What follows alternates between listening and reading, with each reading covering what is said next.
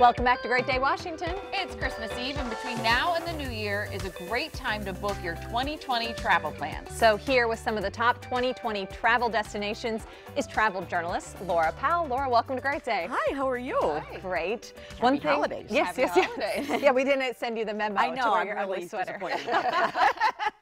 Um, one thing when you're traveling, you always try to look for a flight where you're not going to have to get off, have a layover, and get back on another plane. And you're saying that in 2020 we have some new nonstop destinations. Yes, we do, which is really exciting. Of course, DC yeah. has a lot of good nonstop destinations. But now, actually starting this month in December, um, we have a new flight to Africa, to Cape Verde which are wow. um, 10 islands off of the west coast of Africa.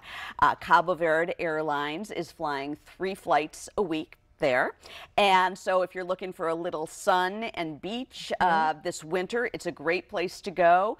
Um, if you're trying to get some new destinations on your 2020 list, I would imagine most people have not been to Cape Verde. And so mm -hmm. it's a nice nonstop uh, flight away now. Wow, that's yeah. my bucket great. list. The yeah. Africa is on my bucket list. I always thought South yeah. Africa, but Cape Verde seems to be a little right. more with the beaches well, it's, and it, it's islands. It's not what people might right. think of as a typical African destination. But the thing is, from Cape Verde, you can connect on to some other countries okay. in, in Africa as well. Perfect. So, All right. There. What other nonstops can we start looking for? Well, Iberia is back, uh, bringing its nonstop from D.C. to Madrid which is oh, great. Madrid wow. is a fabulous destination. You know, I think Barcelona in the last few years has gotten all the attention, but the fact mm. is, um, Madrid is a great historical city.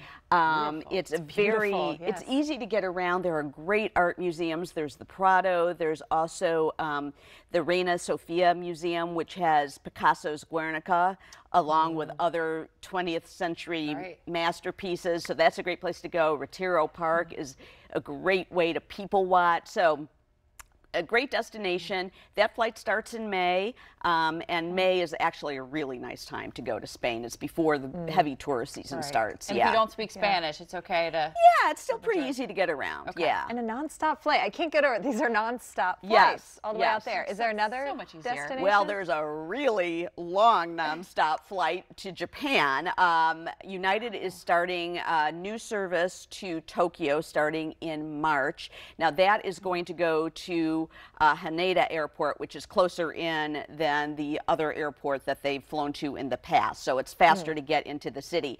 So Tokyo and Japan in general is really going to be a popular destination next year. The Olympics are there. Uh, it's been hmm. getting a lot of press. And what we're seeing in Japan, I actually just went to Japan a little while ago.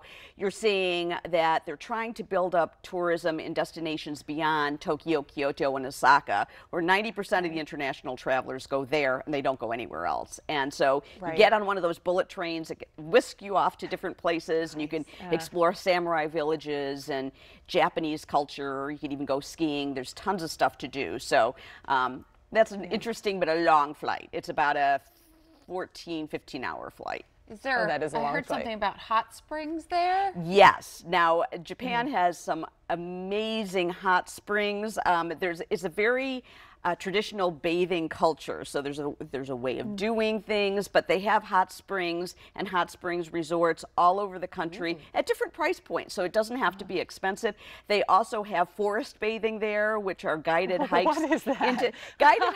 not, it's not what it sounds bathing? like, people, but it's uh, it's guided hikes into the forest where you're. It's kind of a meditative. Huh process right. where you're amidst nature, nature. and mm -hmm. you know just enjoying and smelling the scents mm. and, and that seems to be a big thing now are those yes. meditative like right. spa wellness, retreats right yeah more wellness exactly trips. wellness travel is really hitting its stride and what we're going to see next year you know a lot of times when people thought wellness travel they thought about spas like Canyon Ranch and Miraval super expensive mm -hmm. and I think that wellness travel is going to become democratized next year okay. so that people can go forest bathing it doesn't cost much to go for a walk in a right woods or, or dunk yourself into a hot springs, right? I mean, these are right. things that are in nature anyway. And so people are really looking for more wellness components on their vacation, whether they're traveling to Japan or they're somewhere in the United States. Right. And yeah. similar to what you mentioned with Japan, people also want to see like maybe a city that's not so touristy, that's kind of around the edges, that's more um, off the beaten path. Right. Yeah, no, I mean, you know, Yeah. there's this phenomenon that we've been talking about in the travel industry in the last few years called over tourism. And places Mm. like Barcelona, like Florence, like Venice, there's just so many tourists there on the high season that it just it becomes unpleasant. Plus, there's a lot of bad side effects for the locals. Um, so what people are doing is they're saying, hey, you know, we don't have to go to Venice. We can see Italy as Italy truly is if we go off into the countryside. And again, with increasing air service, it's easier to get to a lot of these secondary and tertiary cities via a nonstop flight or at least an easy connection. And so I think that's what people want is more the authentic experience of a country rather than ju- just going to another big to the city. big, right? Yeah. Right.